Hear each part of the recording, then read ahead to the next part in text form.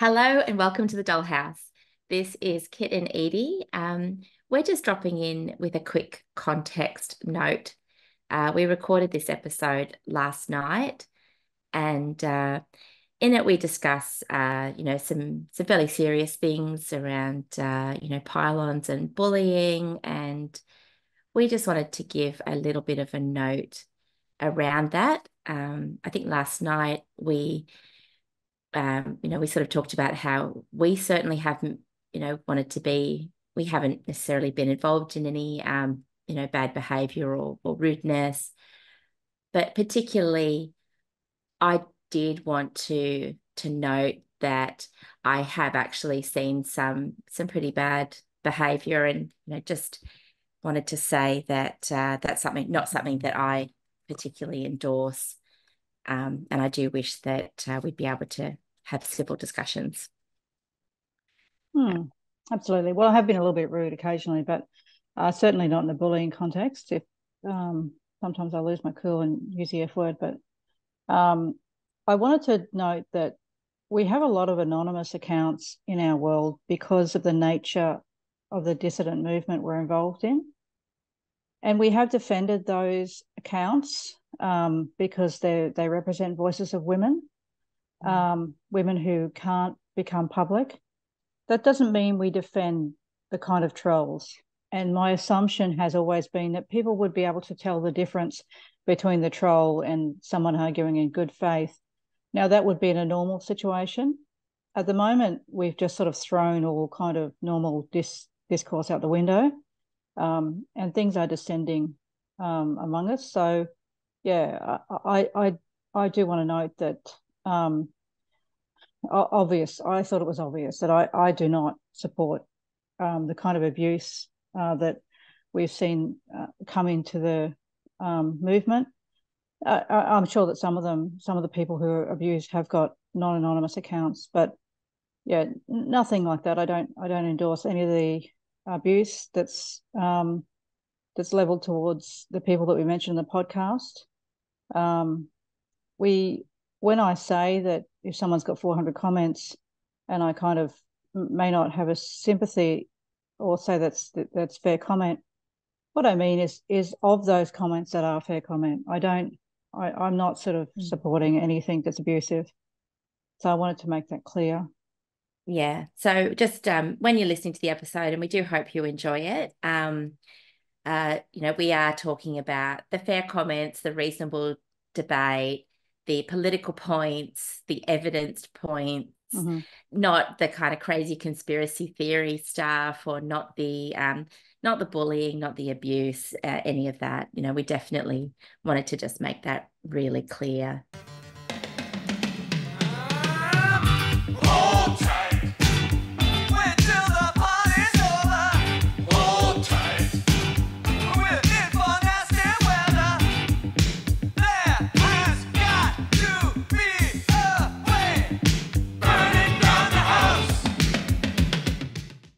Hello and welcome to the Dollhouse. My name is Kit Kowalski. I'm an Australian feminist researcher and blogger. I'm joined by my co host, Edie Wyatt, who writes for The Spectator and whom you can also find on Substack. We're here to talk about sex, gender, and oh, so much nonsense this week. How are you tonight, Edie? I'm okay. I'm wounded, but not mortally. Um,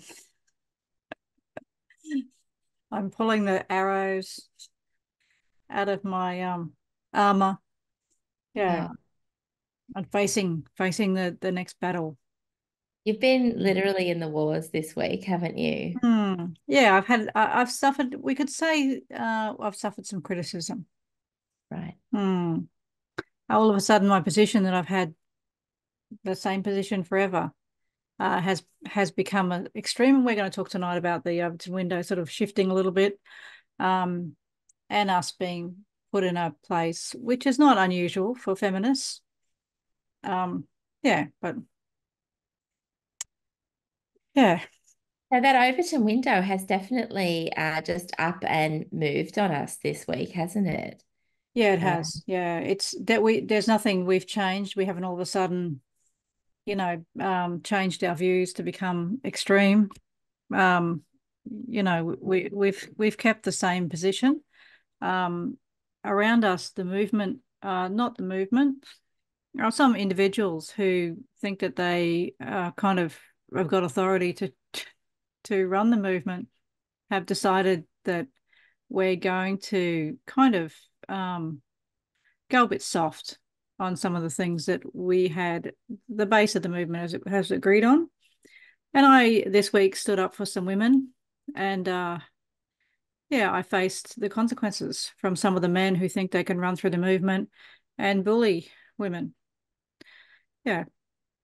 Yeah, and I think this has been brewing for a long time. Like, and it, it is all definitely around um it definitely has been around the issue of like the true trends and the good ones, which we spoke mm. about um uh in our Twitter space last week and also on our episode the week before.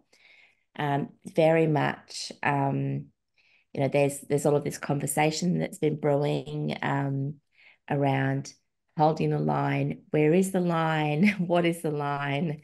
And uh, you know what, what we should be doing in terms of it has all come down to pronouns.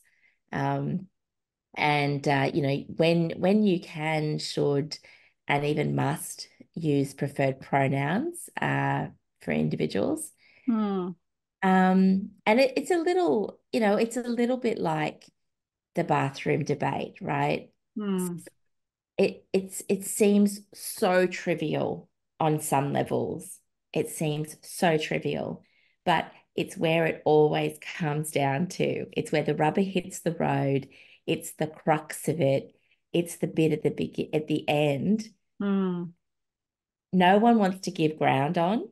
No. And there's no middle ground on this. Well, there can't be because sex is binary, right? Right? We can't. Yeah, there's there's no moderate position. No. No, that's right. Yeah, yeah, so I think um, to start with, uh, it started with uh, a couple of issues. We've been talking about them over the couple, last couple of weeks. And um, one of them has to do with David Hayton, and uh, he wrote a book, and everyone's been, you know, applauding and saying lovely things about his book. Uh, Janice Turner interviewed him and wrote a, a puff piece. Um, and the women of gender critical Twitter didn't like her saying that uh, she was using wrong sex pronouns for um, David. She was calling David a she. Um, David's um, uh, AGP name is Debbie. So um, people call uh, he, he he's a teacher, so he goes to school, and the, the the kids have to call him Debbie and address him with she her pronouns.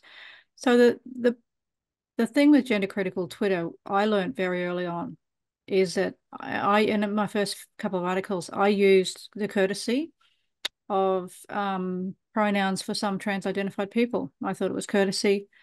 Um, and the, the women at Gender Critical Twitter let me know that that wasn't right. I didn't take much notice of them. They're only comments, yeah.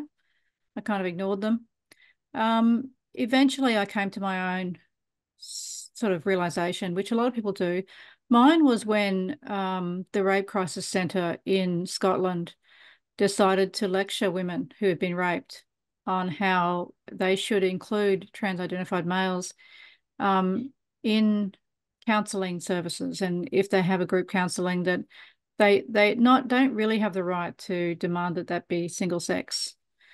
That got even worse when the greens in scotland actually argued that a woman who had been raped should not have the ability to choose the sex of the person that conducted the medical exam on her so if a man identified as a woman she would have to be examined by that man, it wouldn't matter how much. I mean, these are self ID categories, right? Um, so even though they don't have self ID in Scotland, uh, in in effect, most of the institutions do respect a kind of self ID policy. So I said, right, I won't, I won't use wrong sex pronouns until there are no women uh, compelled to have males in rape crisis centres, so that women have the ability to say no. That was my line, right? So I said, okay, I agree. So it becomes like a picket line. and anyone crosses it, and the women of gender critical Twitter will let you know. Um, Janice Turner thinks she should be an exception to this, and because she's written on this issue for years, that she should be allowed to do what she wants without criticism. Uh, we didn't agree with that, and an unusual sort of shift happened. And we did the usual thing, saying, "You can't say that. You can't say that." And of course, uh, we got turned on by the elite of our. Um, is that a fair thing to say? I think it is. I think it probably is a fair, fair, um, a fair a synopsis.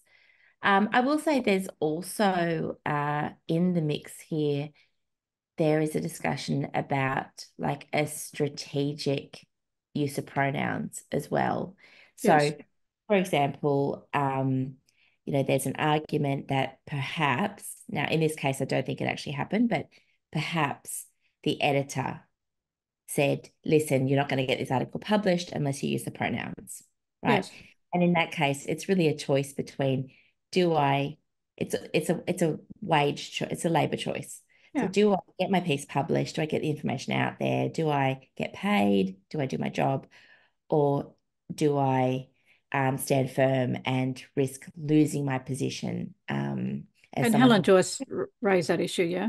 Yeah, absolutely. And, you know, I think that that is sort of fair enough. There is a fair, there is a fair strategic compromise that can be um, made there.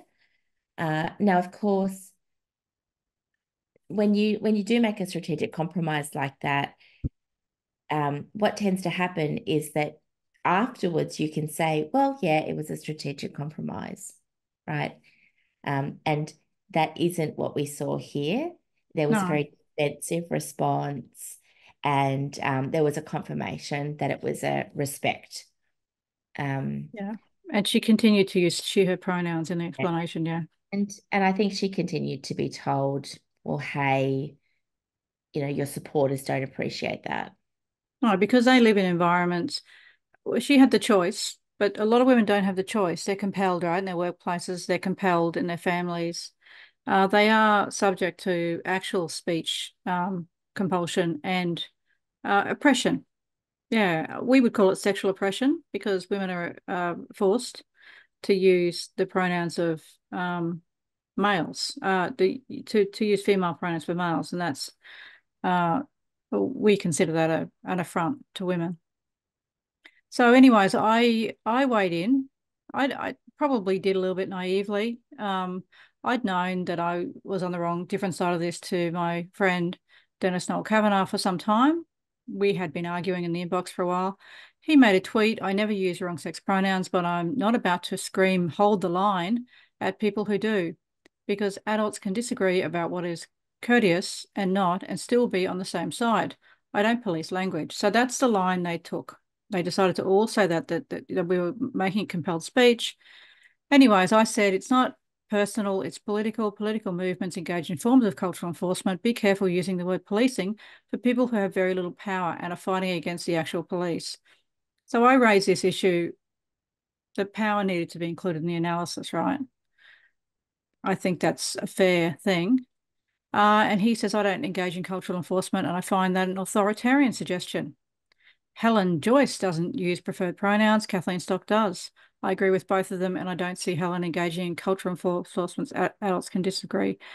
And I've said authoritarian is usually connected with state power. Dissident women don't have anything like that kind of power. We are a class-based political movement. We all we have is numbers and a few principles. Both of those women have power, and they happily see women um, ratio opposition.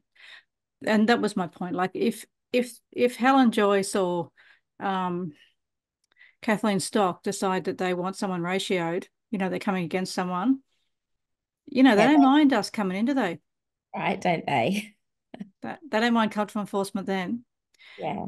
Anyways, um, Dennis Noel Kavanagh called me um, authoritarian, and then he said my position was extreme. So I got in trouble um, because I said, from my perspective, and I've used this before, I've said this before, that I think it's a picket line and that essentially women are calling them scabs. Someone who crosses the picket line and who has a choice not to and deliberately does it is betraying women. And I think a lot of women felt betrayed. So I said, sure, but my, from my perspective, she's a scab. She had a choice to use correct pronouns against a progressive political culture, but she chose not to. This is serious. Girls can't get rape counselling without men around. She's made an infraction. The base smacked her. So mm. that that was my tweet. And within 20 minutes of that tweet, I was blocked by Andrew Doyle. I was unfollowed by Helen Joyce. I was unfollowed, uh, and now I've been blocked by Eva, who's a um, Canadian. Uh, she calls herself Canada's most prominent lesbian or something like that. And um, Bertie Rose also. Um, so a bunch of them. There must have been a message group happening. They saw this, or he's, you know, someone's notified them. And then, you know, it's gone to um, the next level. Um, sorry, I've been I've been going through the presentation on the wrong thing, so I have to correct it on the thing. I've been going on my computer, but this computer this is the computer that's attached to it. So then Colin Wright comes in and he says, I don't like to think in terms of teams in the fight against gender ideology, but if I had to choose a team, it would be Stella O'Malley, Andrew Doyle, and Kathleen Stock. She's untagged herself from that, which is interesting. Um, so mm. she's keen not to be involved with it. She's kind of taken out of herself out of gender critical Twitter. It's a fight they can't win because we've been we've been fighting this game for a while. And I said two of those blocked me, other unfollowed. Um, uh, for my hard line on sex reality, all to do with the GRA politics, but we're apparently cancelling um, them. So yeah, it's the idea that we're counselling them. You've picked a team. I've picked the protection of my sex long ago. So mm-hmm. Dennis Noel Kavanagh comes in again and starts to call me um, again extreme. So he's called me extremist uh, twice uh, in public, uh, which uh, I would think is kind of strange. And normally I got I was just getting unfollowed because I've got a little app that tracks people um, unfollowing me, and so uh, you know, it was it was carnage um, for some reason. Um, and so this went on. I considered he was he was going very personal. Um, he was trying to get me to to publicly criticize um, Kathleen Stock and Stella O'Malley, and I said that my my problem with them was not personal; it's political. That Kathleen Stock um, didn't. I've never criticized her publicly. I know that she's weak. I've, I've, read a book. I didn't like a book. I thought it was too weak politically. She thinks that you can just distribute pr pronouns to people that you like. That's very similar to a lot of people's position, isn't it? Yeah. And I think that it is a logically inconsistent position. Hmm. Um, so it, it seems to be that you know we we attack this idea of preferred pronouns and we say look it's not consistent and um, it's it's hard for us to operate. It's hard for anyone to sort of operate because you have to look at the person, you have to decide what they're signaling to you somehow, right? Mm-hmm. Um, you have to remember their pronouns. And also, um, you know, so if someone, like if a man's got long hair, oh, is he signaling to you that he wants to be called she, her? Or is he just, you know, having long hair, right? Um, and what they're doing is they're they're actually setting up sort of a new class of trans person. So we say, look, we don't really want to do that. We just want to say we see a man, we call him a man, easy. You know, that's yeah. back to sex. You could be a pretty man, you could be a man with a ponytail, we don't care. We just want the right. We want the right to be able to say we see a man. Yeah. But they're putting this other layer on top of it now where they're saying well, as long as that man is one of the good ones, we'll call him she. Yeah. Uh, as long as he's as long as that man knows he's a man and says he's a man, we'll call him she. Yeah. And, and, and we don't want any criticism for it. It's even more complicated mm. than just seeing a man in a dress and calling him she. Now you've got to make a moral judgment mm. on his character. Mm. And you've got to say, oh, who is he friends with? Is he friends with one of the high profile gender criticals. Oh, okay, Yeah. well, all right, we'll do the she her for you, but not for Jimbo down the road. Yeah. And also, Still a priest class, right? it's it's not even like the actual moral character because um it's only literally that he admits that he's a male. Yeah. There's there's no other criteria. It's not that he's a good husband, it's not that he's a good father or is a good employee. It's none of that. No. It's that he says he's a man. Yeah. So it's really strange. And this Um, is in the political context that women are being coerced in their workplace, right? So we're not talking about no gender critical feminist is turning up to someone's workplace and picketing them because they've got pronouns in their bio because they have to. No one's no one's putting pressure on ordinary, particularly anonymous women uh, who were gender critical on this Well, issue. Well, here you go, right? If we look at, um, say, if we pick on Kathleen Stock, right? She was picketed in her workplace. Mm, She was picketed. Um, so the TRAs came along, they had smoke bombs, they had signs, they had mm, really horrible signs, and she had to get police protection. She got a security detail. Her mm. workplace did not defend her, they did not support her. No. Who did support her in that time? Do you, do you remember, Oh, Kowalski? I, I, I was very supportive of her at the time. And I think a lot of women were The very whole of gender critical Twitter was behind All her. We really supported her. Yeah, and and really rallied around her. And and you might say, well, you're it's unreasonable to expect something back, but no one ever has. Like people have complained about her, they've complained about a book. I've said I didn't like a book much, but no one's ever stopped her from doing whatever she wanted. No one pickets her every day on Twitter.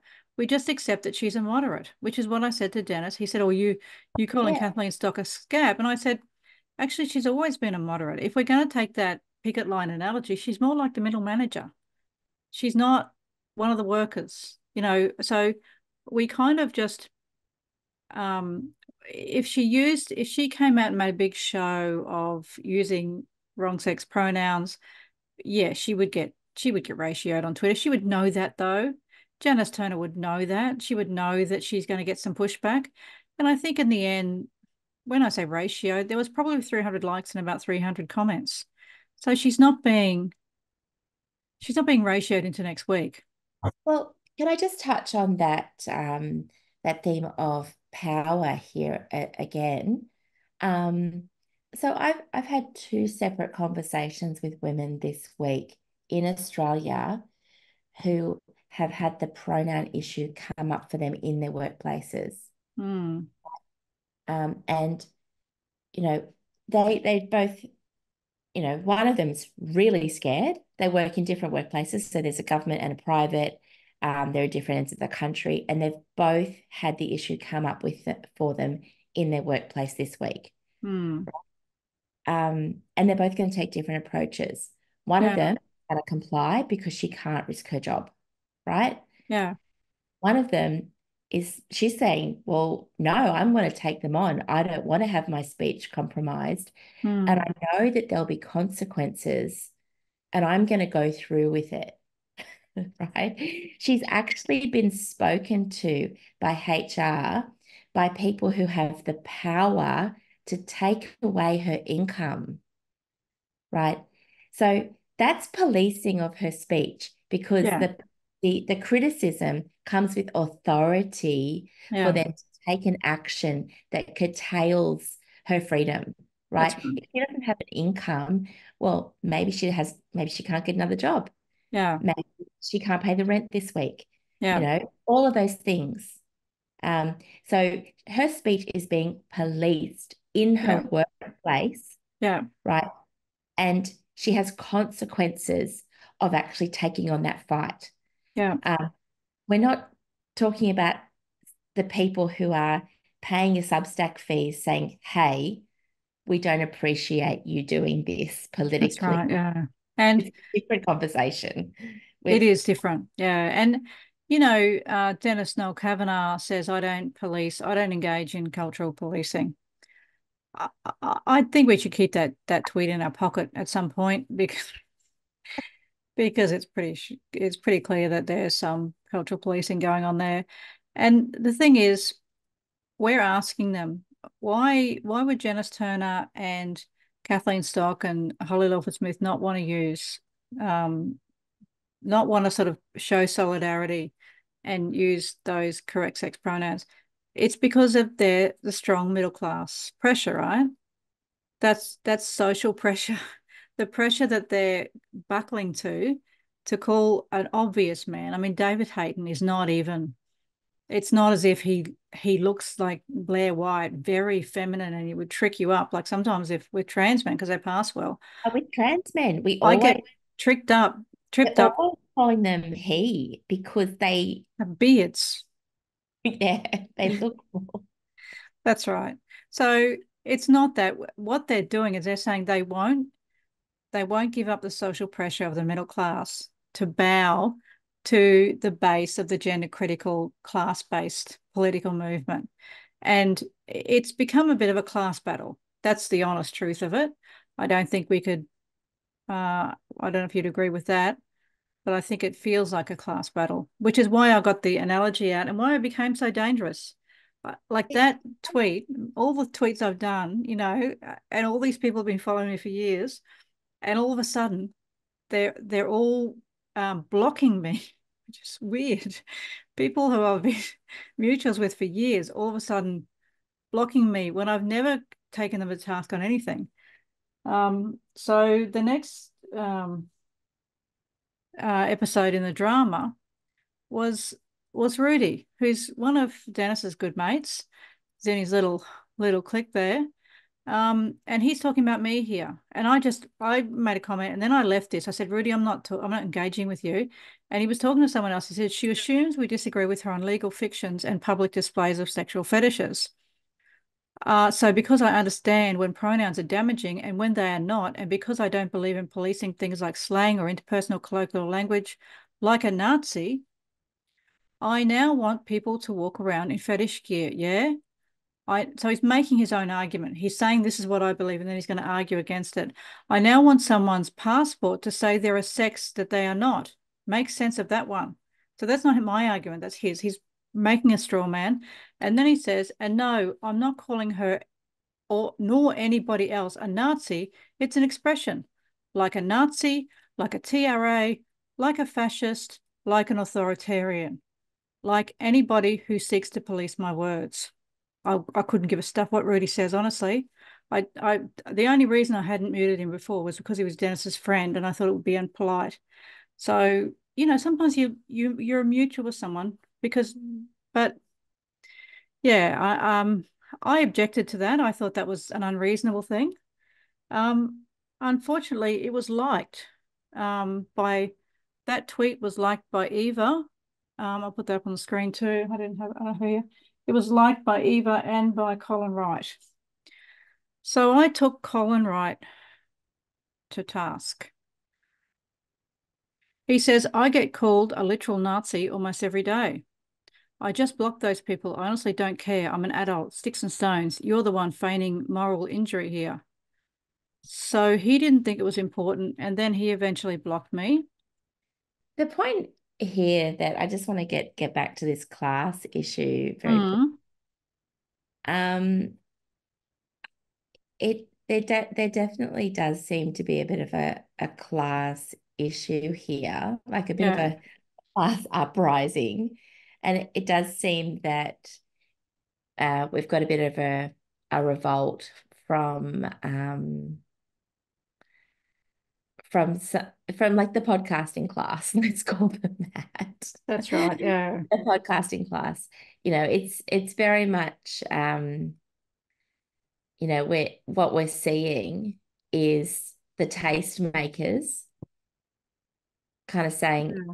hey we're not we, we we have we've had enough of this whatever this is right? Yeah. We've had enough of it and uh and we really don't want to be told that we don't want to be told by our subscribers what they think of what yeah. it is.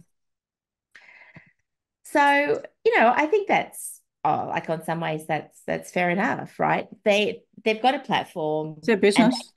they can go off and get, they can get new subscribers. Yeah. uh, or they can turn off comments or they can retreat to Substack and mm. get off Twitter, which is what I think uh, quite a few of them have been doing. Yeah. Uh, and, and they can stop um, being the gender critical heroes, right? Yeah. Um, you know, i am I'm all for them doing that, and I'm all for them going off and finding uh, new new sources of income.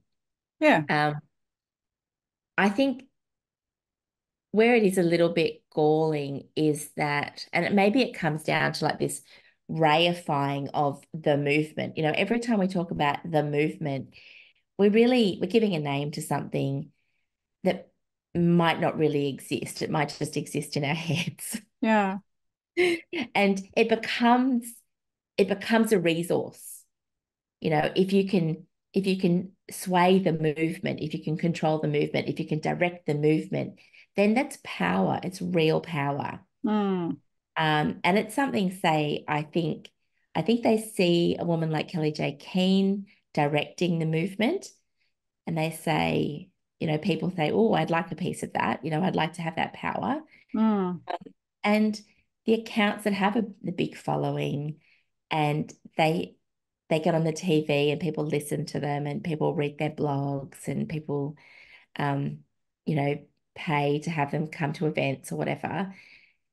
Um, you know, it, it it's it's enticing. Like yeah. it's it's money and it's prestige, yeah. right? But the problem with uh, social media platforms is that they're two way. And so Andrew Doyle can talk to you, but you can talk back to Andrew Doyle. Not anymore. He's blocked me. Well, and if Andrew Doyle, you know, gets a hundred women saying, Oi, I didn't appreciate that. Yeah. Like, um, you know, he might quite rightly feel very sensitive That's about true. that. I think Andrew Doyle did feel sensitive about that. And there was a bit of a consensus around them because as soon as um, I got called by a Nazi, to, a Nazi um, by Rudy and um, extremist by um, Dennis Kavanagh, people started to say things like, I got um, a, a tweet saying, calling your allies scabs and wonder why some don't want to play with you. This is manipulation, crocodile tears for her supporters when I said, look, you know, I was feeling a bit wounded, frankly, um, to be stabbed in the back and then have kind of everyone make out like I was running some sort of, you know, there's an implication that I was that I, I was running the kind of gender critical movement when really I was saying something and a lot of people were agreeing with me. My supporter base has, I've got a lot more followers this week than I had last week a lot less high profile ones. That's that's true. But I've got a lot of more ordinary people. When you know it all sort of went down, especially with Colin Wright because he's so prominent. And then his girlfriend came in because he said to me, I said, look, you know, he was he was picking a side, and I said, look, those people have unfollowed me and blocked me for no particular reason. So you might you you're just picking a side. You're not making a principled decision on this. Um, and we know that Colin Wright, um, a couple of years ago, he was very clearly um, on the side, wasn't he? Of um, yeah, he was. Um, he was very clearly um, understood the importance of the pronoun issue. Mm. Very clearly understood that it was a compliance test, and that it really is where the rubber meets the road, and it's where, yeah, you're tested to see um, are you going to stick on principle or yes. are you to be kind? Yeah. And if you're going to be kind, then it means like it doesn't mean you're a bad person. It doesn't mean you're wrong. It doesn't mean any of that stuff. It just means that you're not strong on the political principle. And we can't support like a political movement can't support a leader who isn't strong on the politics. No, no, That's you've got the crux of it is you can't lead the movement. Hmm. You can't be a thought leader if you're no. not strong on the politics that the that the movement wants to be led in. That's, That's right. Yeah. It's like you're the wrong person for the job. It's just unfortunate. It's not a, yeah. Yeah, it's it's yeah. Well, it's it's a principle thing, right? Yeah. And I think that's that was raised um, when um, when Colin's girlfriend tried to pick on me, and uh, Christina Buttons is her name. Um, and she she said it wasn't my position that was getting me uh, cancelled. It was my personality. Um, and that's possible. I'm not. I'm not always nice. and at one point, someone said some things to me. I said, "All you're accusing me of being is being not very nice and a feminist." And I admit both those things in my profile. Um, he, she says, "I don't actually need to know your personality to use inductive reasoning. Many people have a hardline stance." Um, but if three of the most reasonable figures in the online gender space are distancing themselves from you, I can infer it's because of you and not your stance. So this is this this slide of my character. Dennis says, uh, "You're an extremist." His right hand man says, "I'm a Nazi." Then I say, "Look, I now then I get unfollowed and blocked by these key figures, and I say, look, I've been un- I've been blocked and unfollowed by these people because of um, my political stance. And then um, they come in and say, no, no, it's your personality. It's who you are. Yeah, um, can, I, can, I, just pick up here mm. on the framing of these figures as being the reasonable ones? Yes. Yeah, I, I think there is a real um I think I think there's this is a bit of a sleight of hand here that you know um like I don't I don't know any of these individuals right? So I don't know who's reasonable and who's not. I think the re three reasonable ones were listed as Kathleen Stock um Andrew Doyle and Stella O'Malley. Right. So but these mm. are the three individuals who've just taken their bat and ball and like left Twitter because they were criticized. That's so like right. they've taken a bit of an extreme action in the face of criticism. Mm.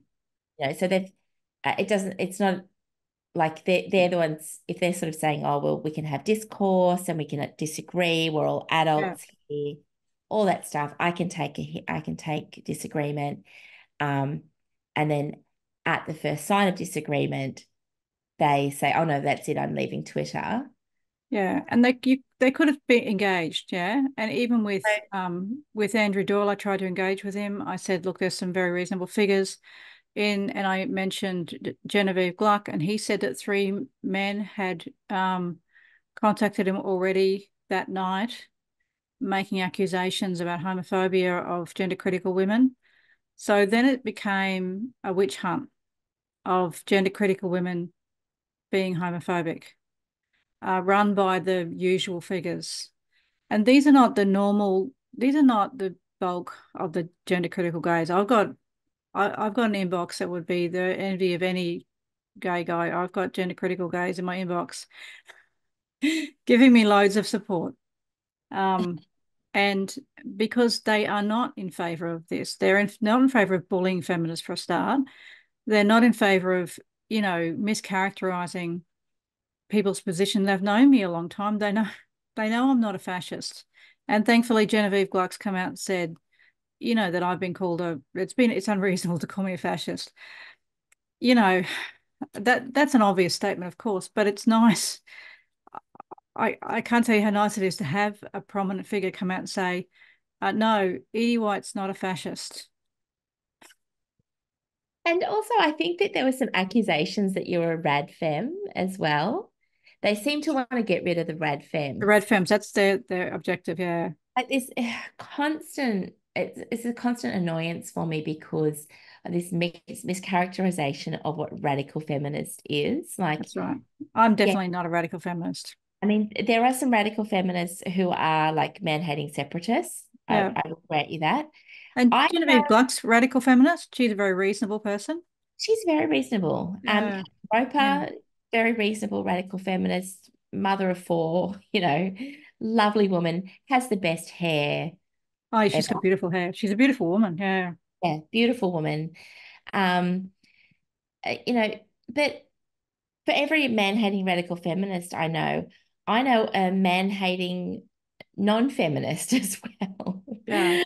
um, you know, I, I don't think that it correlates as strongly as as they're sort of seen to be. But essentially, they they'll just basically tie you with this you're an extreme rad fem brush. Yeah, they're picking they're picking us one by one. They're they're they're finding someone to target and they're targeting them.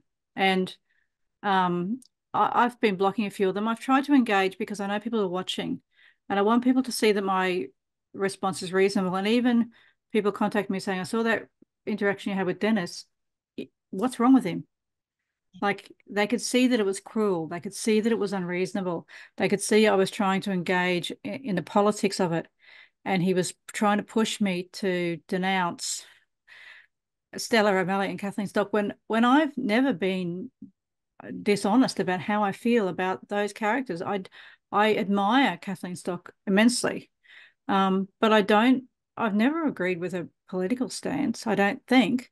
Um, I don't think that, and Stella O'Malley has never been part of the gender critical feminist movement. We we we we've never assumed that. We've just we've just critiqued her. I've critiqued her because I've said, look, your politics has got no room for women's rights. I think that's a reasonable thing to do. I think it's a reasonable because we're feminists to say the the the politics that you're bringing out, you're, that you're supporting with Helen Pluckrose and the way they're bringing her onto GenSpect, it it denies the oppression of women. So you've got no framework to support women's rights. So we're critical of that, right? Yeah, exactly. and, um, and you know, I don't I don't think that like GenSpect has always been GenSpect, right? And people might have had hopes for GenSpect of what it yeah. was going to become, but it was always going to take its own little path. Yeah. I've got a lot of respect for for Stella and the others who are behind GenSpect. I think challenging WPATH is the right thing to do. Someone has to do it. Um, do I agree with them politically? I, I don't think I do.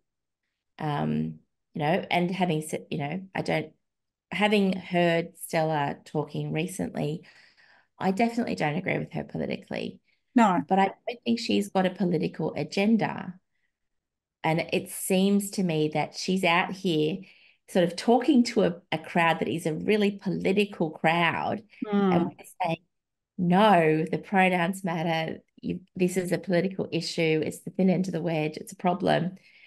And I don't think she sees it because she has it, she's coming at it from this therapeutic angle.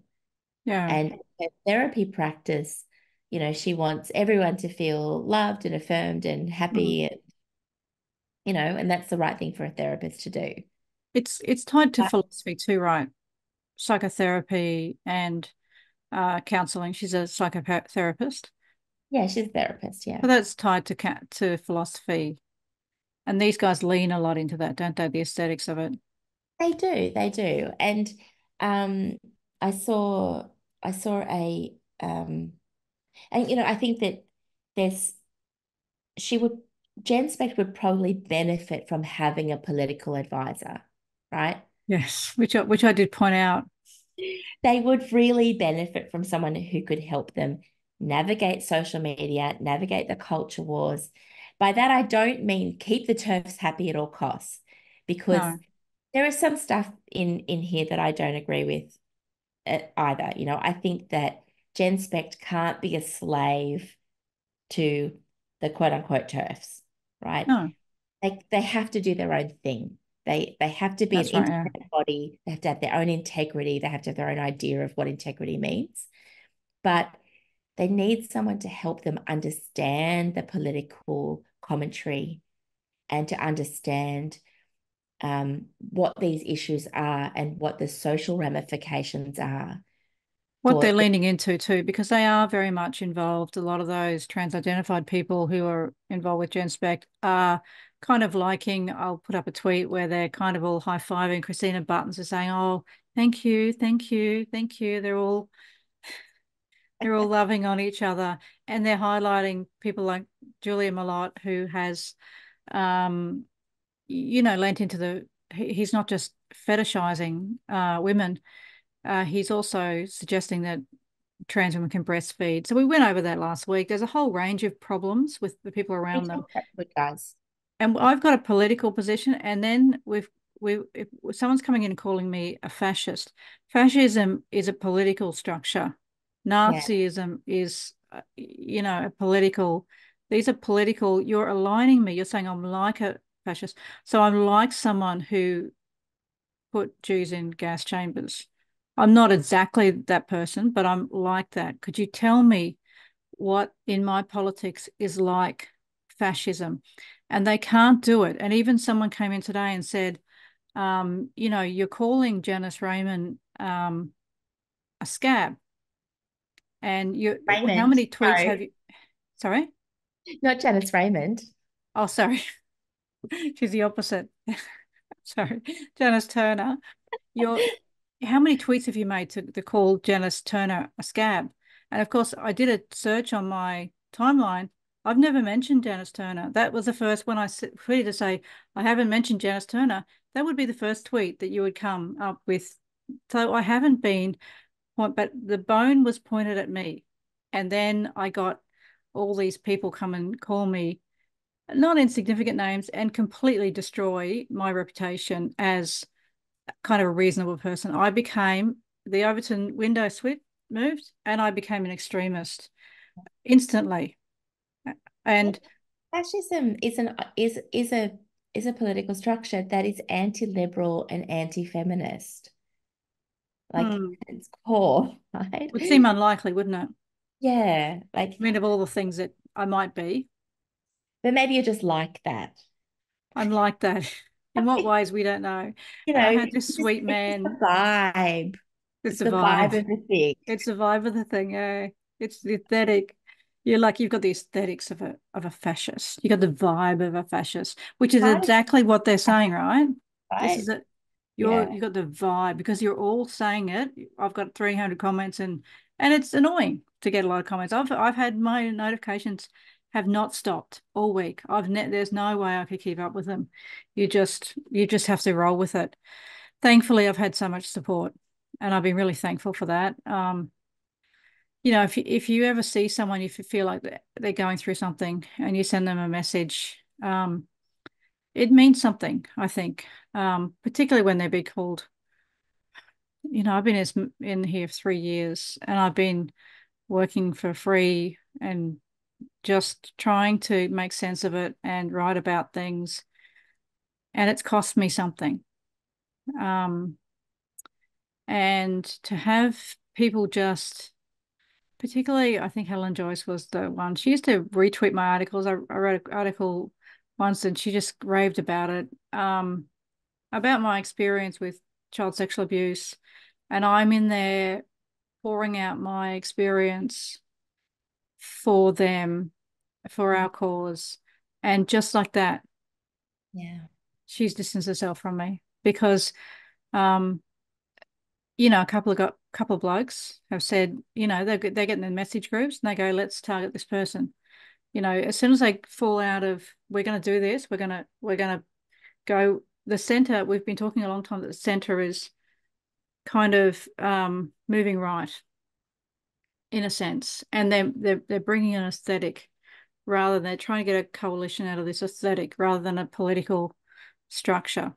So, anyways, uh, the next step we've got to move on. Christina Buttons uh, wrote a. I sort of pulled my heart out and said, "Look, this is that's what I said. I said this is really affecting me." Um, I wasn't boohoo, but I was saying, "Look, this is this is not cool. You can't just call people fascists who have been in this movement for so long and have a body of work like I do that has been widely appreciated. Anyway, she said, Colin and I are laughing our asses off because of you idiots. And I put it in a meme here with uh, Tania from Muriel's wedding because I heard it in her voice. no, Chook. Chook and I think you're idiots. That's what I heard. So she got ratioed within an inch of her life with that one. She there I can't there was hundreds of comments and no likes. I mean, she's got 70,000 followers. She couldn't get half a dozen likes on that thing. Um, and she had hundreds of us people saying and regular people, good, decent people saying, You're just a horrible person. Yeah. It's just not a nice thing to do. So we've had this collection of um, these guys. Uh, we've got um, podcast bros. The podcast bros. They're the ones that um, you know, um, some of the the uh, GC gay dudes are, you know, cozying up to. You know, we're not the extremists like those girls, like those feminist Nazi ones. Um, Benjamin Boyce, um, that's um, what's his name, James Lindsay. Um, there's my friend, um, uh, Wright, Colin Wright, and that other bloke interviewed someone this week. I don't know who he is. I don't know. I've never seen. There's one of them I've never seen before. Um, yeah, they're, they're anti woke basically, but you know, um, there's probably not a massive sort of. I wouldn't say that their political knowledge is. Would would we say it's not extensive? Um, they're just they're anti-feminist. Benjamin Boyce is obviously anti-feminist. He's interviewed a lot of feminists. Um, and he put a tweet out a couple of years ago that I gave him a smack for, and he did delete. Let's compromise. Men won't call women frigid for saying no, and women won't call men creepy for asking. He does get called uh, creepy a little bit. And I, when I saw that, I commented, look, some women frigidity can be caused by rape, right? Can be caused by sexual abuse, can be caused by a whole range of things. It's not appropriate to be saying stuff like that. So he did delete it.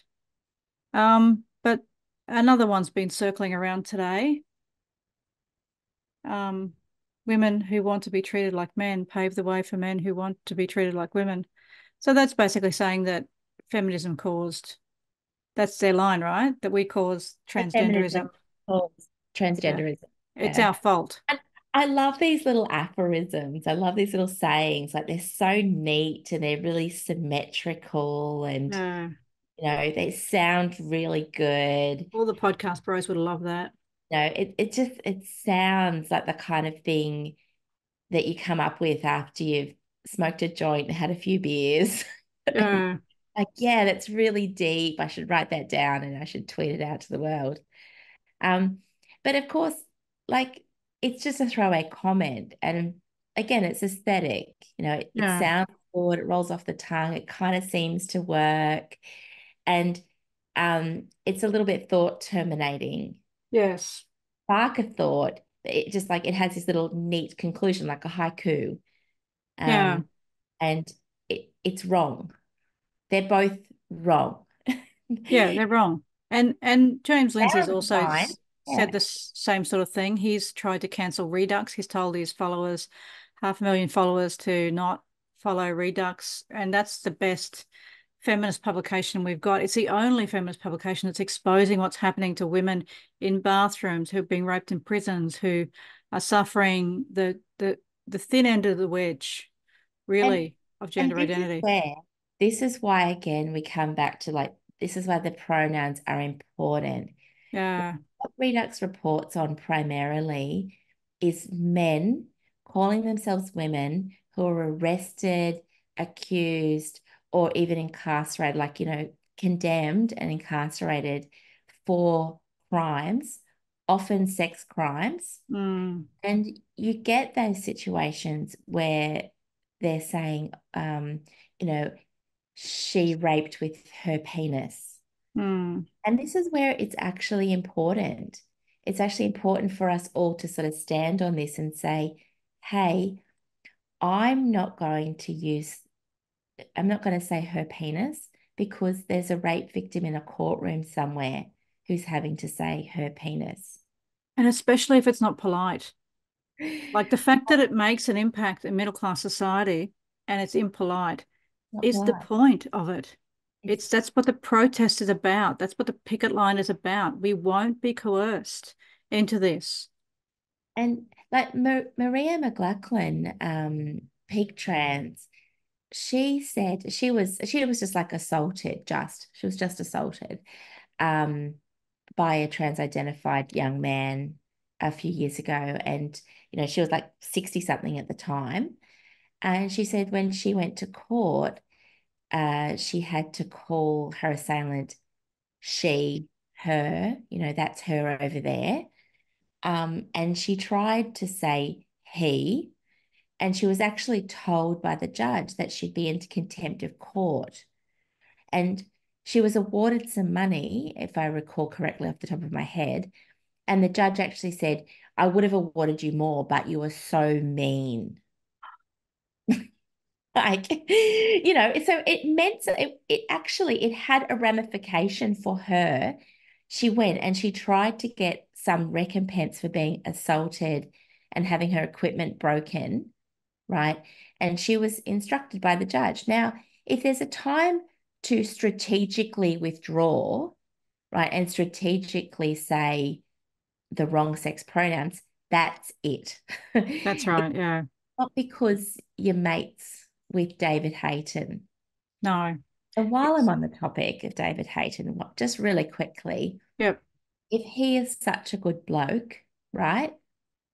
And pronouns don't matter to him, then I think the right thing for him to do would be to say, listen, all of you gender critical women who I'm friends with, all of you gender critical men who I'm friends with, I really want you to call me he and him. Yeah. And I want to show the trans identified men of the world that not only do they know they're men, but it doesn't kill them to get called um, he and him. And I'm going to use the men's toilets and all of that stuff. You know, I'm going to make, I'm going to be the change I want to see in the world. Yeah. Right? That's right. Uh, we're not having that discussion. We're having the opposite discussion where we're, we're being alienating activists. I'm an activist. I didn't start as an activist. I've become an activist. You crazy people turned me into an activist. and this is what uh, Reality Last Stand. I'll put that in the up on the thing. Uh, this was Colin Wright a couple of years ago. He was saying coercing people into publicly stating their pronouns in the name of inclusion is a Trojan horse that empowers gender ideology and expands its reach. It's the thin end of the gender activist wedge designed to normalise their worldview. Participating in pronoun rituals makes you complicit in gender ideology's regressive belief systems, thereby legitimising it. Far from an innocuous act signalling support for inclusion, it serves as an explicit implicit, sorry, endorsement of gender ideology and of all its radical tenets. That's him a couple of years ago. If we put that up there today, he he's got himself a girlfriend who's a little bit she's anti-woke, but she's all the trans. Trans is woke. I hate to tell them that. Yeah, I think she trans is the uh, trans, trans is the epitome of woke because it and postmodernism. It's it's the it's the bending of reality. And it was invented by men. It was invented by male doctors. It was developed by male doctors. It Can we mention psychotherapists? it was developed by the medical industrial complex. That is why you should, if you do nothing else this year, you should go to Janice Raymond's website. You should download the free PDF of the Transsexual Empire. Um, you should just skip over the title, the cover page, because the the title is a little cringy. Um, in this day and age. We don't use that those terms anymore. But read well, he's it. trying to get back to them, isn't he? Our David's trying to call himself a transsexual again. Yeah, yeah. Well, it's harking back to this idea. And John Howard used to do it in Australia in our politics, you know, harking back to a distant past that never was. Yeah. They talk about the old school transsexuals that knew that they were men. Well, Janice Raymond wrote her book in 1979. Yeah. That's that's the year I was born. Mm. Right? That's a long time ago. It was. um, she wrote it then, and she was complaining about men invading lesbian spaces, mm. men invading women's sports, women uh, men invading women only, women's liberation um, publications, yeah. other ventures. Feminists uh, saw it first, didn't they? Yeah, they did. And they're documenting it, which which is what I've been trying to do the last year, couple of years. And in my Substack this week, um, people told me not to be too. Someone gave me advice not to be emotional tonight on this thing, because I was on Spaces and I was a bit emotional. And they said, "Well, don't give them anything." I don't want to give them anything, but I want to tell them um, how you know on the Substack. I just read a paragraph from that I feel deep regret that I have placed my oppression at the feet of those who despise me in order to plead for the rights of women. I wrote a piece a few years ago in defense of rape victims that Helen Joyce called excoriating and brilliant. She noted I'd been kicked off Twitter for my honesty in the service of women and children. Her soft block this week hurt more than it should have. You know, I wrote some of that stuff to expose that was about a judge who was releasing this man who had he had like 50 they had 50 sort of accounts of sexual abuse of his sisters. It was just a horrific case and he had decided to um, transition and the judge wanted to give him respect and wouldn't put him in the she said she wasn't going to put him in prison because he would have gone to the men's prison and that was obviously inappropriate. And so i kind of ripped a new one for her and, and really gave her a good going over on my substack um, which was appreciated by all the all the polite women um, and it's made me feel very much back in the working class. Um, because as soon as i started to say hang on what? Fascist? You know you've been reading my work most of these people and and sharing it for three years. Mm. and now you honestly think i'm a fascist.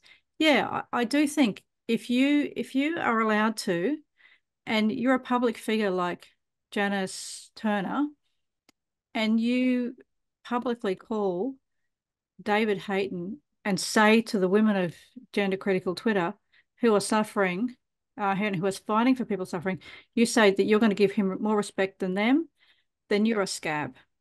That's my opinion. Now that might be a strong opinion. Um, that might be opinion you you don't disagree you don't agree with. But the idea that you would publicly distance yourself from me, and then when I get, say, I've been publicly distanced from, and I get podcasters' girlfriends saying that it's because of my personality, then I get other guys telling me I'm fascist. None of those people defended me. Not one of them. None of them said, "Hey, hey, you know, I don't agree here with Edie, but but ease off." None of them. But what I did have is the regular plebs, Uh, hundreds and hundreds of likes, thousands of likes, hundreds of messages, DMs. You know, we're sorry. It's like the meme, we're sorry this is happening to you when someone's being ratioed. But I wasn't being ratioed. They were being ratioed but they could tell that I was being pushed out. It's wedge politics, right? So it, mm. it pushes you, pushes, splits the movement, and they say, well, they're they're extreme and they're extreme. We're going to make ourselves look like the moderates. So Dennis Noel Kavanagh is looking like the moderate, but his opinions are exactly the same as mine. Um, but he has made a choice to to apply that wedge and to make that um, so that's I, I don't want to be emotional, but it's it has annoyed me. Am I allowed to say that? Am I allowed to say that it's been upsetting? It's been an upsetting week. Yeah, look, I think you're right to be upset. Um, I I've spoken to several women this week who are upset. Yeah. And they they sort of see this and they think, oh, what what the hell is going on? You know, why? Um, why has this leadership layer sort of seemingly pivoted on this issue? And there is a real sense of bewilderment, there's a sense of betrayal. Um, and uh, somebody somebody made a comment that you know their take on the pronoun issue is that if somebody uses the the wrong pronouns and you disagree the right thing to do is to, it's a little bit like if you go to someone's house for dinner and they're feeding you and they say grace, and you don't want to say grace because you're an atheist. Well, what you do is you just sit there and you kind of close your eyes and, you know, wait till they do the thing that. Yeah. Um, but this is much more, this is like, you know, you've had someone in your ear for two or three years saying, I'm an atheist. God is bad, religion's bad, da da da da. da. And by the way, let's say grace now. Mm. Like these people have built a career and they've built a reputation on understanding the issues and understanding how the language um, is the pivotal point. Mm. You know, they've they've sold us, and they've turned around and said, "Oh no, actually, that's an extreme point of view." Yeah. Um, I honestly think it is going to reflect in their subscriber count. I hope uh, so. And and that that does seem to be once once you get to that level of prominence, that does seem to be the language that you understand is subscriber count, follower count, you know, who read my article this week, what are the opens on the email. Yeah. And I've had an increase in subscribers and I want to thank people for that too. Um, and I don't I don't necessarily want to push that or whatever, you know, um, um, but I want to let you know that I appreciate it. You know, I really do appreciate the support. Um, and people have taken out some paid subscriptions too. And it's not, I'm I'm not going down to, you know, um, David Jones and buying myself a new new outfit or anything. Um, you should, you but it matters get, to me. You know, get something, get it's a bit like tip money for me. Maker. Get a Breville maker. Breville maker. That makes everything better. A you Breville like maker. sandwich, a Jaffle maker. Yeah, Jaffle maker. Got one of those. Oh, I I should share my recipe of za'atar cheese chaffles. I put the za'atar on the outside. Oh, does it and then, it? sorry, does it stop it sticking? It it does get it doesn't stick. It does stick a little bit. The sesame with the za'atar, but you can wipe it off because it's a non-stick. And then on the inside you put cheese and olives and tomato. It's it's delicious. Yeah. Come for the politics, stay for the recipes. But I will buy myself something nice, and I'm um, you know, I'm thankful that's what I wanted to say. I'm thankful for the support. Menno said something lovely in the space last night. Kellie-Jay Keen said something very encouraging. Um, of course, um, Genevieve Gluck um, gave her support. I I've got nothing to whinge about, really, and I I know I feel that. I feel, and Kelly J said that it's, it's a good thing. You'll see that it's a good thing, and I feel that, but I I need a week to really bounce back because I do feel the pain of it. You know, it did it did hurt. And I, I don't know if it's weak to admit that. And I'm not I'm not trying to um mind sympathy. One lady, you know, I've been accused of feigning, like Colin Wright said I'm feigning injury. Well, I'm being called fascist by my own people.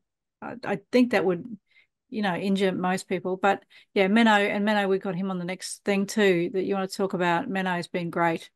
Um, not not over the top, hasn't changed his opinions, just has the same opinions as last week, but and is saying, I've got the same opinions as I had last week. I think pronouns are really important. That's all. And that's just supported the women who are coming forward and saying, yeah. And we've had accusations of homophobia for feminists, but also I did say to someone who was who was trying to launch this campaign, you don't want to you don't want to fight. You don't have this fight. It's you just don't want to because we've all got there's in any movement there's going to be an element, and there are an element of women in our movement who've got nothing better to do than to sit on Twitter and bitch about stuff. Mm. That's what they do. We're not one. We're not those people. We do stuff, but. There are people who do that. And look, it is always it's always a little bit of a risk, you know, when when we're sort of talking to so part of part of this it's the high profile accounts and they're complaining. Like i think stella o'malley gave a had a substack that came out today saying i've been shamed again on the internet. And it's like well okay i don't really want to get into whether or not she was or wasn't. Yeah. Um the fact is she does feel that way right yeah. let's you know, uh, say she does feel that she's been shamed um, so there's always a little bit of a risk when you when you say something like, well, I haven't seen that, or that's not my view. All you can really do is say, well, my view is this. Okay. Um, because of course we don't go around policing speech. We don't go around looking at all of the feminist um, you know, tweets on this topic underneath underneath Stella's tweet and saying, "Oh, you shouldn't have said that. You shouldn't have said that. That one's too far." You know, come on, stop doing that. We don't go and police speech. So all we can do is say, "Look, this is our position." We reiterate it. We say why we've reasoned it out. Um, you know, why we stick to this line, why we think it's really important. Yeah. That's all we can really do. Um, That's and then right. when In we the face of mockery, we we've also had a lot of um, even Fred Sargeant, who I've always respected and very fond of, and he did reach out, but I I was a little bit hurt to talk to him. I just said I need a few days, and he posted something with Nazis uh, with "Hold the Line" under the bottom, which is our kind of it's tagline. been said, yeah, recently. It's offensive and it's mockery of women who are engaging in political activism at a cost. And that was my point. This is, and I was on spaces and I did was a bit emotional, but it's cost me something being involved in this. It's not like it's I don't do this as a hobby. I could be doing other things. Um, and it, I think a lot of women have been hurt by that, um, who especially who really supported Fred and some of these guys. Um, you know, balancing it out. Obviously, you know, the gay guys like Menno and a bunch of others a lot of others have been in my inbox saying, I support you. Yeah. And sometimes I don't want to say it publicly because I don't want to be piled on. And you might say that some of that's um, not right, but not everybody has the emotional strength. It it does take a bit. Everyone's going to go at their own speed, I think. Yeah. They they will go at their own speed, and um, you know, it's it's been my experience across my lifespan where I've had people come back to me after six months, two years, 10 years, 15 years, you know, and say, hey, you know that thing, you were right about that. Mm.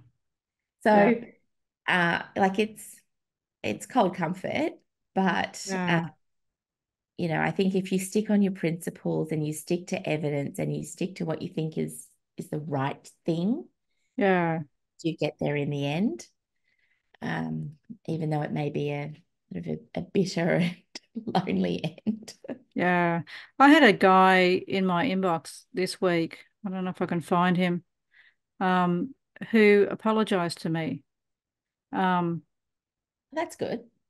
He said that he'd called me homophobic and that he realized now that um, he was wrong. And I think when he saw people piling on the feminists, he thought to himself, um, you know, I need to, I need to say something. Yeah, he he said, um, I owe you an apology. I misinterpreted something that you said as homophobic. I realized that I was completely wrong, and I'm sorry.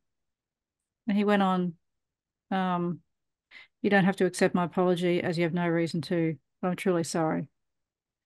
Know, that's nice, isn't it? Yeah.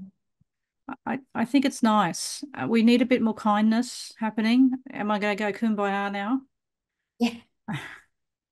I do. Uh, oh. I do love the alliance with um, the men of gender critical Twitter. Um, I've developed friendships with a lot of the men. Um, contrary to popular belief, I'm not a man hater. Um, but yeah, um, we can just try and reach out to each other a bit in this time and start speaking the truth again. Mm.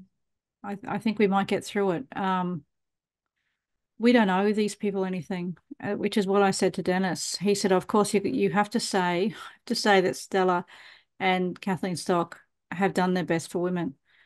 I said, "Why do I have to say that, Dennis? You're infantilizing the activism of, of women by by pretending we're a sisterhood, by pretending we all have to say."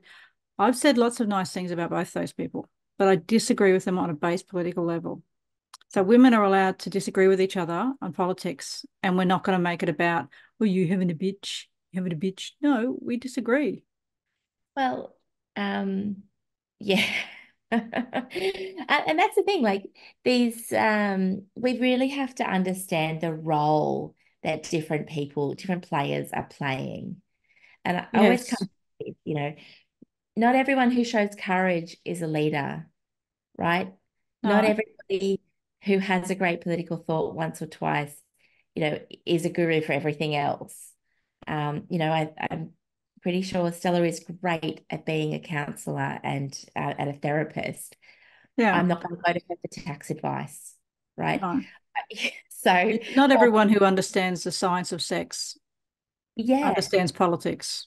And I think, um, you know, when we see that all the time with, say, um, the different medical and biology um, experts, right? And so you'll get Colin Wright, who's he's an entomologist, I think. Um, he's a bug guy. Is that the bug guy? Yeah, I think he's a bug guy. Um, and he has arguments with uh, Lescap, right? Who's a medical doctor.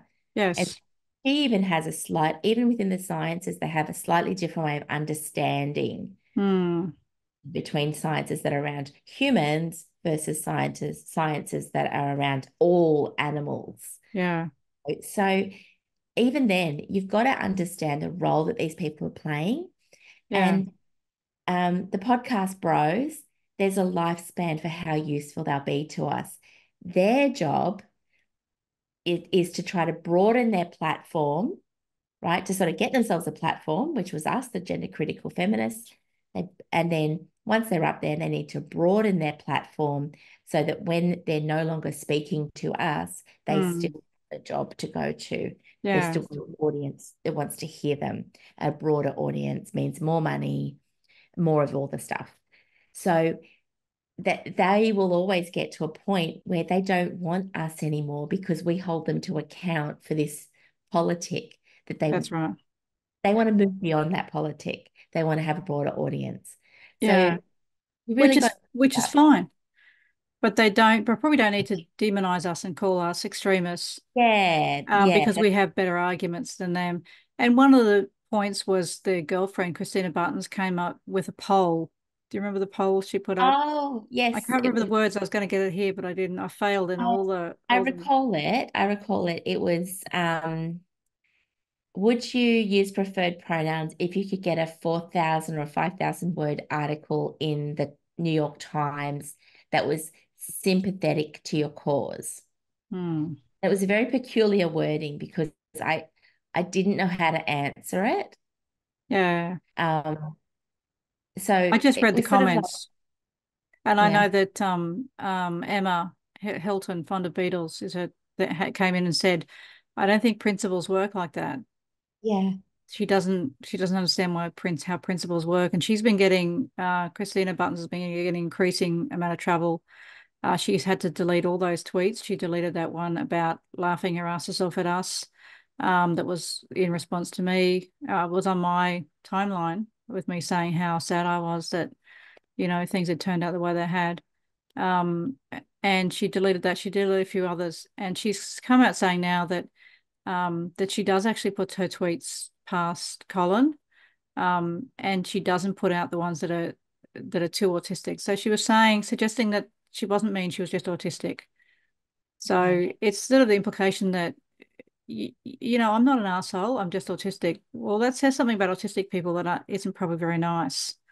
Um, and it's not true. There's loads of I've got loads of autistic friends that are not assholes. Um, you know, that that don't bully women, that that don't laugh at women for having very reasonable opinions. Yeah. Um, it, it's a very unfortunate thing and it's a very defensive position for her to have taken um, so at this point, I think the mature thing would be to say, hey, I think I've made some mistakes. Um, you know, sorry, or I was mm. wrong, or do you know what?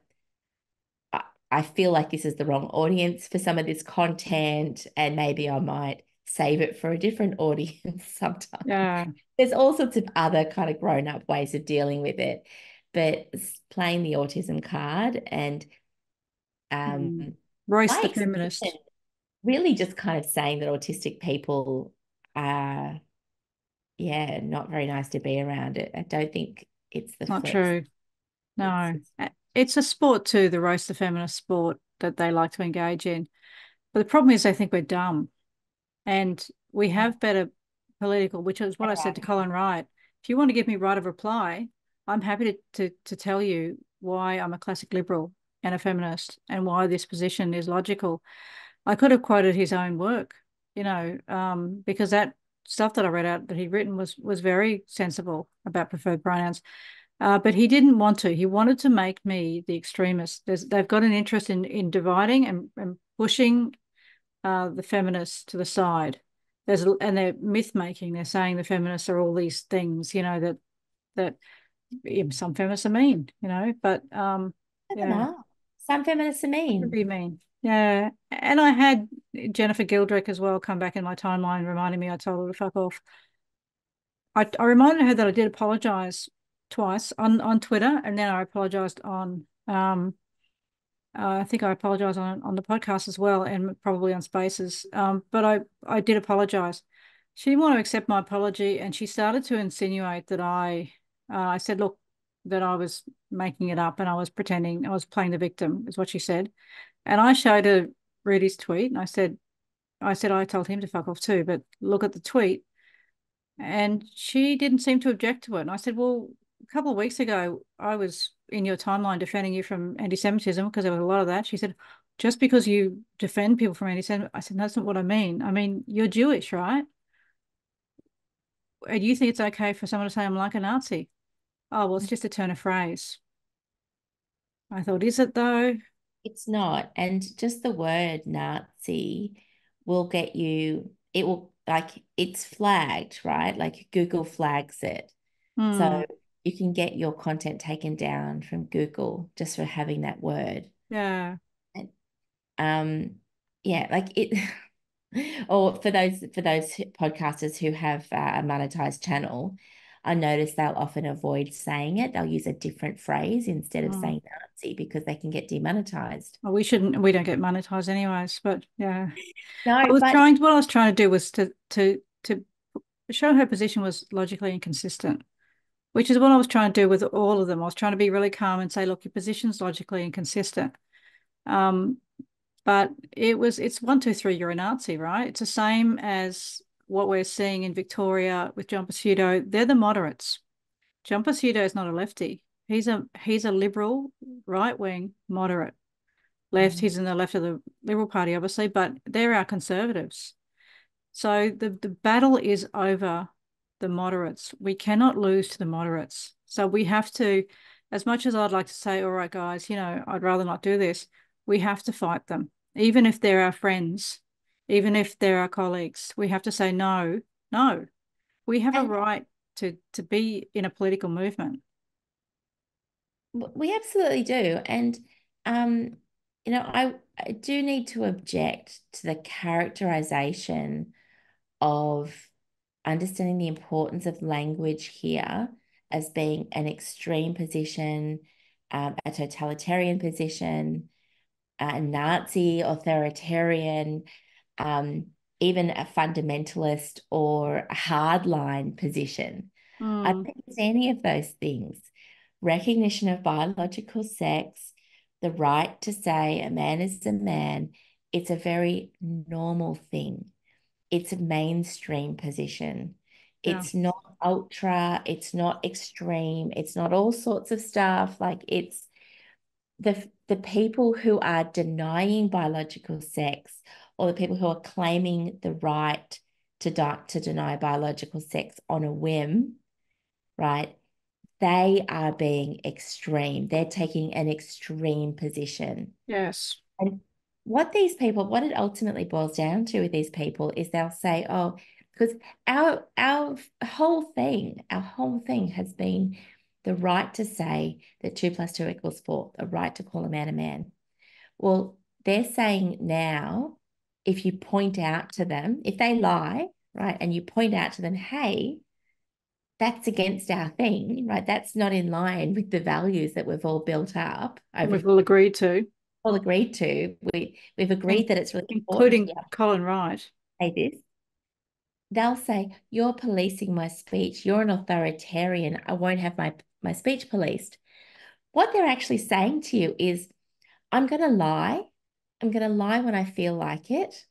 Mm. And it's my right to just occasionally deny reality when I feel like it.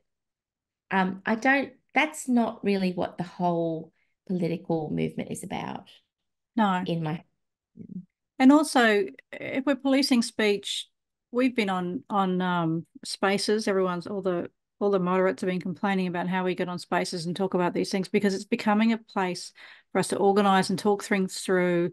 It's becoming a politically organized Twitter, particularly because it's it's more free speech.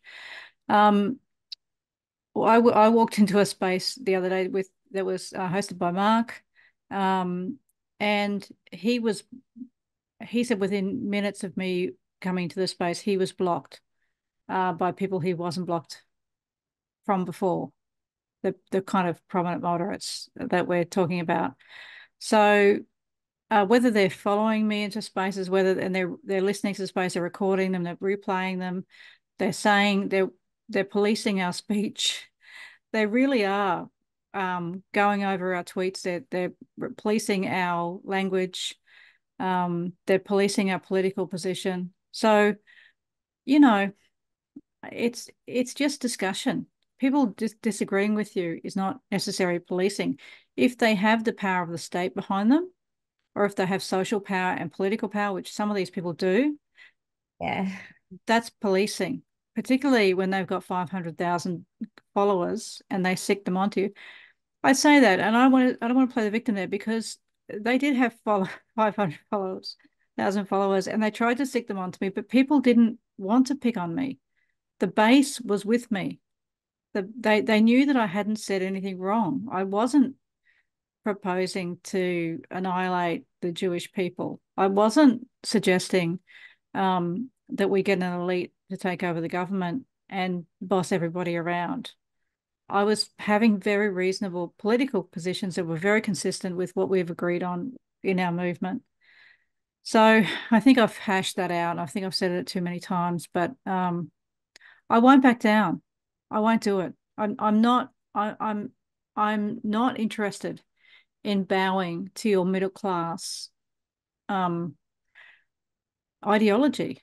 I I've I've staked out my position. I've made it clear, and even with with buttons, buttons, uh, buttons the clown, I put a like she's saying I'm extremist. I put up an article that I've written in the Spectator, the Spectator, and I'm a feminist writing in the Spectator. You really think I'm an extremist? You're a right wing Christian bigot. it could mean that, but they're on the wrong side to call me that. That's what oh, people call them. I know. so Oh my God. If, yeah, if they're running out. And like virtue signal about the the the bloody Australian left. Like honestly, I just oh, I'm so I'm so over it. Like when was the last time the left did anything for us? No. Sorry, we're talking about the middle. Um, go. they don't do. Yeah, well, but we've got big problems, right? We've got big problems to fight, and we do try and fight them. Um, it's just kind of what we're doing. I d- I don't understand why we have to fight with our side, which is what they're saying. But the thing is, they they call us all Nazis and extremists, and the next minute they'll go, "Oh, guys, we've got this. We've got to. Let's stop fighting for a minute because we've got this thing to do," and we're all bruised and battered, and we're going, "Yeah, you go and do that." But it's very, it's very belittling, right? It's it's co- it's causing a fight over something that we know it's important. Yeah, small, like the toilets thing. It's it seems it can seem really small and trivial. The pronouns thing it can seem really small and trivial, and it's causing a thing uh, as a fight over this thing that is on one hand so small but so important. Yeah. Right. It, and it, it's key. It's the key to it all. The language is the key it's a picket line. It's it absolutely is. A, a, and, and then a, they say, "Oh, but it's so small. Process. It's so small. What does it matter to you?" Like, well, it matters to you because you put yourself in authority. You've you've declared yourself the leader of everybody. You're you're a thought leader. You're publishing articles about what people should think and how people should argue and all of that. And you're saying the wrong thing. You're yeah. saying the thing we don't agree with. So that's why it matters. No, that's right. And I get um, it's implied that I'm this, like that lady did today, and she deleted the tweets too because she couldn't argue the case um, that I'm sort of running the movement. And I just said in a tweet this week, I'm describing it to you. When, when I use the analogy of the picket line, I, I was just, I wasn't saying that's what we need to do. We need, all we need to yell scab, scab. You can, you can show me the evidence I've ever done that. I'm describing, I'm using an analogy to describe to you what's happening. They're, they're applying social shame. Yes, they are, because that's what political movements do. They say, what you've, this is our politics, and you've crossed the line. And we're letting you know. We've made a line here in the sand. We've said that we're not going to, we're going to make a political point out of pronouns, out of language. And if you cross it, we're, we're going to write a comment on your Twitter and criticize you. That's a consequence. I mean, yeah. So, and it, uh, I won't. I won't get too much into working class history here, but um, yeah, it is the least, the least consequence um that yes. that a, that a black leg has ever faced. yes. like, it's very serious. It's very serious because solidarity is important. Yeah, it's a currency.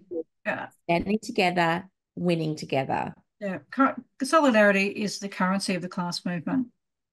There's no, there's no question because what else do we have? We've got numbers, and we can only mobilize the numbers in solidarity. So, and if you take solidarity, then you, it everything's weak. Like the fault lines appear, and that's what's happened. And it tells us you're not in our movement as well.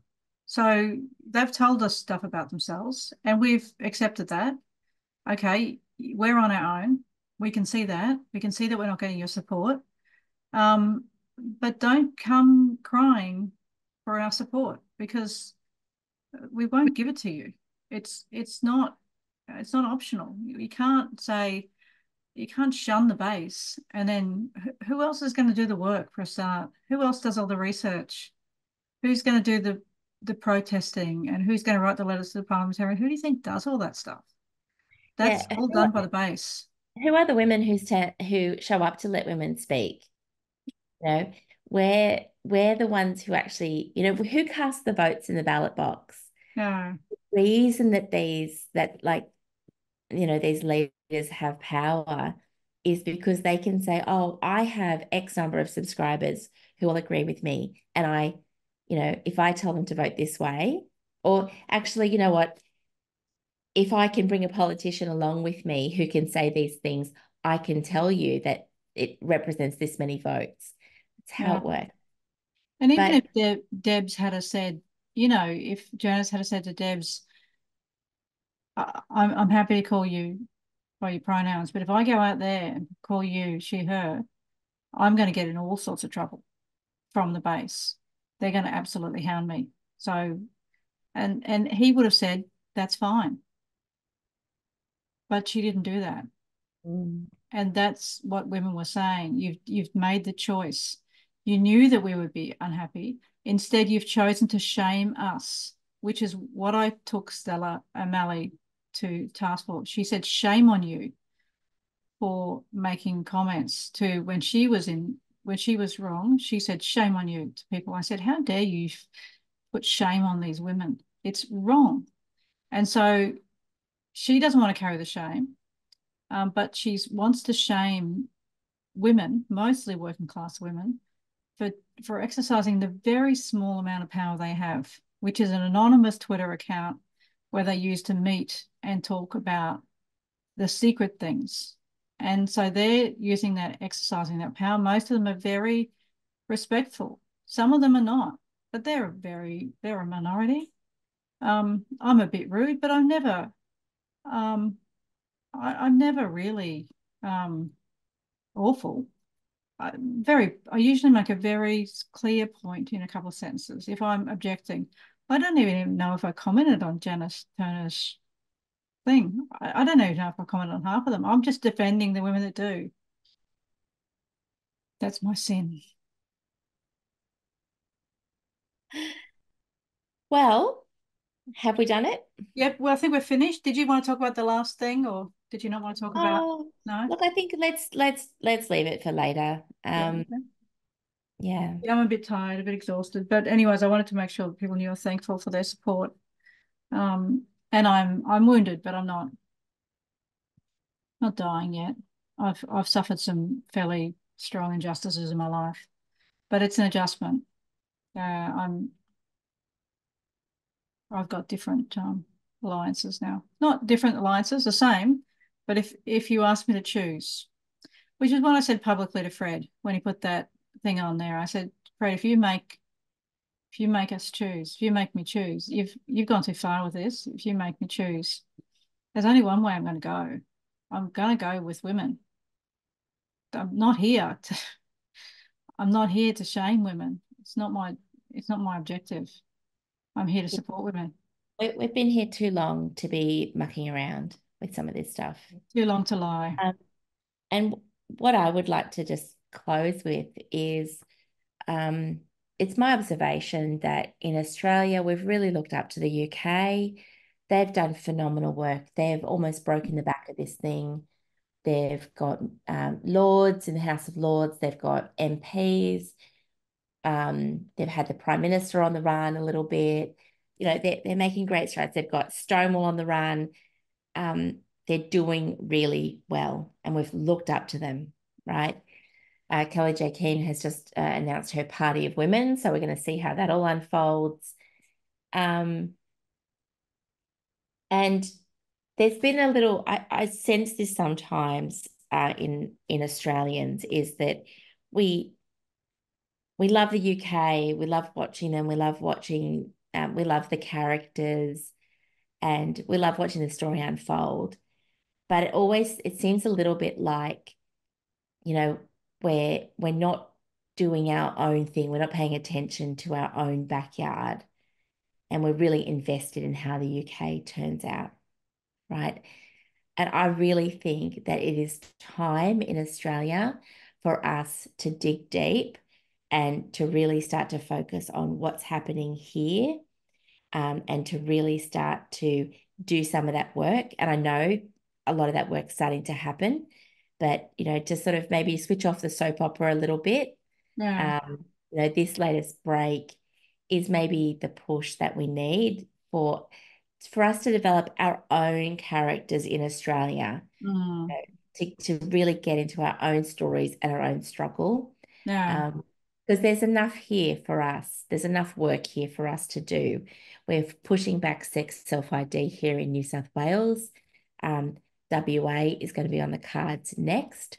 And, um, you know, we've got all sorts of, of issues. We've got self ID, we've got conversion uh, practices that criminalize talking therapy across the country. Mm. We've got our work cut out for us. We've yeah. got ACON in over 70 government agencies in Australia. Um, you know, this is, we need to really focus on what's happening here yeah. and we need to build the profile of our movement here in Australia. Mm. Um, we need to find the thought leaders in Australia and we need to find the courageous people in Australia. That's and we right, need to start telling our own story and really get our teeth into it. Yeah. Very few that, people, uh, I've had, I think one academic unfollowed me, Australian academic, um, but that's it. I've had no real pushback from Australian, uh, you know, leaders in the the various things. Yeah, so um, I think some people stand back too, and they want to make a judgment. Maybe you know, maybe I had said something terrible. It wouldn't it wouldn't be a big surprise if I if I'd made a mistake or I'd said the wrong thing. Um, but yeah, we need to we need to move away. Or they're almost all UK political things figures, and I could see it coming. I knew there was there was players that were going to push this, um, and I was probably pretty naive. I thought we could we were going to have a discussion. That's what I thought. Mm. I thought we were going to have an online. We're going to fight it out in um, the political, and I'm very very comfortable in that area. I I could argue the position, so could you, so could most of gender critical feminists. Um, they're very sure about their arguments, but that didn't happen. So yeah, I'm I'm sorry, but we need to focus. You're right on Australia. Um, get our focus away from um, the drama. Yeah, yeah. I need I need a couple of days out of. It's been it's been so great to have the UK and like they've really role modeled a lot of this for us. Yeah, this is something I'm really not keen to emulate. I think. No.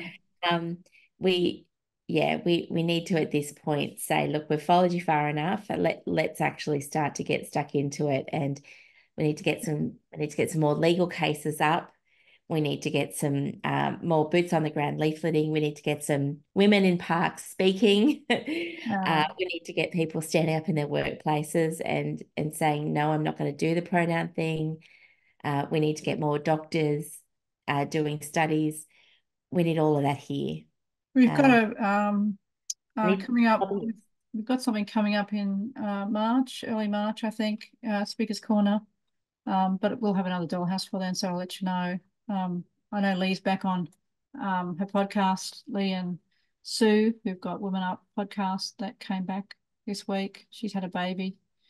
Um, yeah, so they've got a, a speakers corner coming up. So I'll keep you updated with that, which we'll go to. Brilliant. Yeah, I'd love to hear. So we need that. to we need to be involved with these things, grassroots politics. Yeah. Support women on the ground. Yeah. Hmm. All right.